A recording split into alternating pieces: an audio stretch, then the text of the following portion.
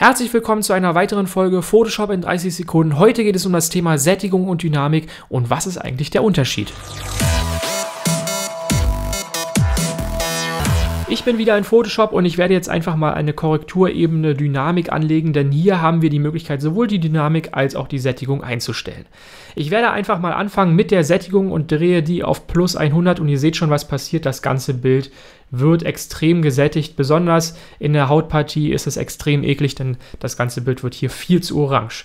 Doch was ist jetzt der Unterschied? Dafür werde ich jetzt diese Ebene nochmal ausblenden und eine weitere Dynamikebene anlegen und jetzt einfach mal die Dynamik auf plus 100 setzen. Und Jetzt seht ihr auch schon, was der Unterschied ist. Besonders in der Hautpartie sieht man es. Hier werden die Farben wesentlich weniger gesättigt. Und das ist auch der ganze Trick dabei. Die Dynamik sättigt alle Farben im Bild, die weniger gesättigt sind als andere Farben. Das klingt jetzt ein wenig umständlich, aber die Dynamik gleicht einfach alle Farben in ihrer Sättigung etwas mehr an, während die Sättigung halt alle Farben im Bild gleichermaßen sättigt. Und besonders wenn wir mit Menschen im Bildern arbeiten, ist es extrem sinnvoll, die Dynamik zu nutzen und nicht die Sättigung, denn der Dynamikregler verhindert vor allem die zu starke Sättigung von Hautfarben.